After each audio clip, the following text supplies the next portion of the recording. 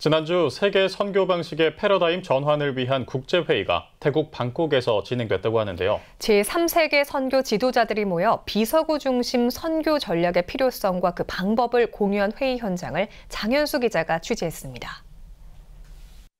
과거 서구권 국가들처럼 세계 선교에 적극 뛰어들고 있는 비서구권 국가들. 선교계는 의료기관, 교육기관을 세우는 등 재정적 지원 바탕의 선교 방식에서 나아가 새로운 전략을 강구하는 상황입니다. 이 가운데 제3세계 선교 지도자들이 시대에 맞는 선교 전략을 모색하기 위해 태국 방콕에 모였습니다. 아시아, 아랍, 아프리카, 라틴계 기독교 모임을 뜻하는 코알라로 이번이 2회차입니다. 설교자로 나선 태국 현지 목회자 CCT 분랏 부아옌 목사는 세계교회가 쇠퇴하고 있는 상황 속에서 선교 전략에 변화가 필요한 상황이라고 밝혔습니다. 그러면서도 선교 전략에는 변화가 필요하지만 선교의 본질에 있어서는 예수 그리스도를 따르며 기본으로 돌아가야 한다고 역설했습니다. It does not matter in what era the mission of God is performed, nor in what form of society. Even to what extent strategy and technology must change.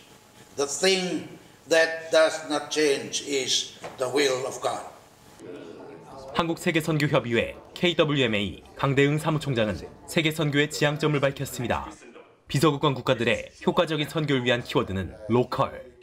강 사무총장은 경제적 지원에 기반한 서구적 선교 방식이 효과를 거두기 점점 어려워지는 상황에서 현지 교인, 교회 중심으로 선교지를 부흥시킬 수 있는 전략이 필요하다고 강조했습니다.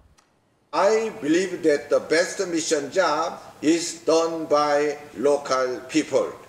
And I believe that the role of a missionary is to do some things that local people, local churches, or local denominations cannot do. Therefore, missionaries should not act as outsiders, but as insiders in the local church. 한국을 비롯해 중국, 인도, 이집트, 브라질 등 20개국 이상의 다양한 국가에서 참석한 이들은 각국의 선교 현황과 비서구권 선교 전략의 적용 방안을 나눴습니다. If you want to reach a Korean, you must think like Korean. If you want to think reach an indigenous person, you must think and function like indigenous person.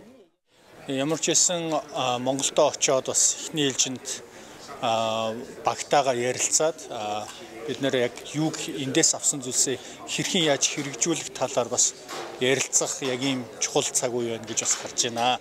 Well, what we are expecting is to hear the challenges of the different movements. Mm-hmm.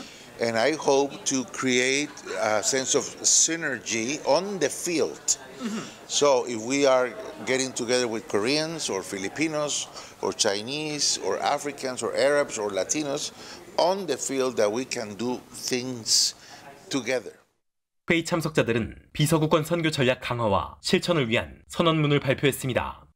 현지인들이 현지 선교의 주체가 될 수 있도록 선교사들이 도움을 주는 선교 모델이 다시 한번 강조됐습니다. 비서구권 선교 전략 실천을 위한 코알라 회의는 앞으로도 이어질 예정입니다. 가장 좋은 선교는 뭐냐면은 그 나라 백성이 자기 백성들에게 복음을 전하는 거예요.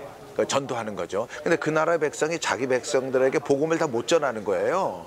그래서 선교사가 필요한 거거든요. 현지 교회와 같이 가야 되고 현지 사람이 비록 교육이 부족하고 돈이 없고 그래도 그 사람은 그 나라의 주인이거든요. 코알라를 통해 모색된 비서구권 중심 선교 전략. 방식은 현지 중심, 동력은 예수 그리스도라는 데에 참석자들은 동의했습니다. 시대에 발맞춘 선교 패러다임으로 세계 선교의 새 파도가 일길 기대해 봅니다. 태국 방콕에서 CTS 뉴스 장현수입니다.